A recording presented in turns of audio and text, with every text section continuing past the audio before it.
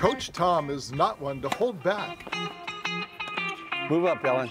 It's the way he's been coaching for the past 40 years. It not only keeps his players on their toes, it keeps him going as well. Tomoko, that was a good return. She just did a better shot down the line. But Tom Carpenter is much more than just a coach. He's a legend. I think the shirt says it all, huh? the man, the myth, the legend. I've been very fortunate. Been very fortunate with my health and everything, you know. And uh, it's the way it is. To say Tom's fortunate with his health is a serious understatement. This guy behind us, number 95, just tell me about that guy. Um, he is amazing. He's always inspirational. When we're like complaining about how bad our body hurts, we're like, um, we can't really complain because he's been through a lot. He's 95. He still hits the ball hard. We can't even get to it sometimes. So it's just an inspiration. I hope I'm like that someday. Another shot like that, you're going to do some laps. You heard her right. Coach Tom is 95 years old, the former president of a local welding company who grew up playing football and basketball, didn't even start playing tennis until he was in his 40s. As a kid, I played a little bit, but I didn't, I didn't run any teams or anything like that. I just, you know, it's uh, so it's something I can do now, and something that you can do all your life.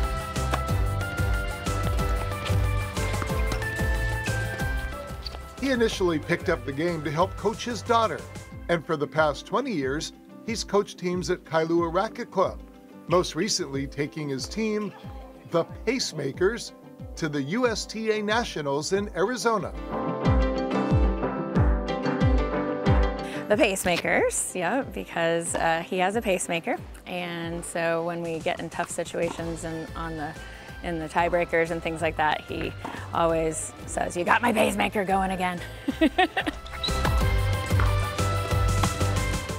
These days, you might say Tom has a few dozen daughters. Oh, that was good. I thought I was going to be out. It's been, it's been a lot of fun for me, and it, it's uh, um, gives me a reason to get out of bed in the morning. Yeah, and who Well- pushes who harder, you to them or them to you? well, both.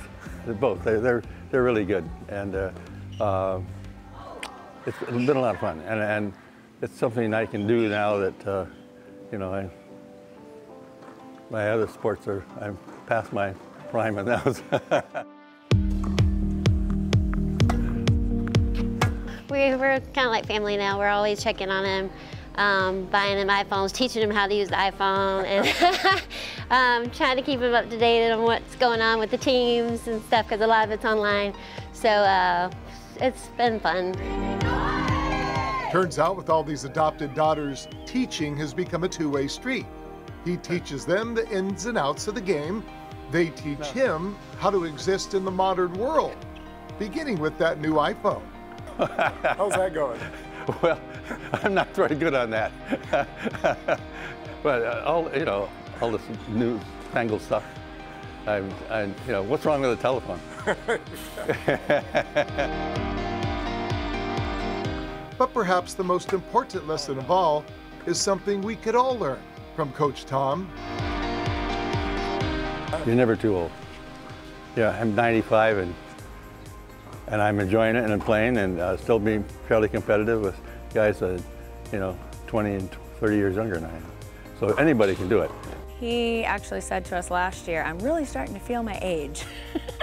and so we're like, okay, well, we're in our 40s and starting to feel our age. Probably the most in shape 95 year old I've witnessed, and especially he doesn't walk with a cane or a walker or anything, and he probably never will. Yeah, um, just from watching him, he's always like push through it, got to keep moving, um, just keep doing what you love, and he really loves tennis. So it's been great for him to keep going, and it's definitely helped him to keep going. And I think coaching the team is also a part of big thing that he likes to do, and we kind of keep him going with that. How long are you going to be out here? Doing this Yeah, as long as I can walk. good. As long as I can walk. And I'm, I'm you know, I'm slowing down, but uh, still there. On behalf of all of us here at 7-Eleven Hawaii, we want to offer a huge tip of the cap to you, Coach Tom, for all that you've done over the past many decades.